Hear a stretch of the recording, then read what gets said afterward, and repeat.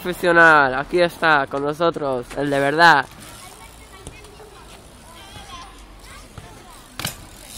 ¡Qué paquete!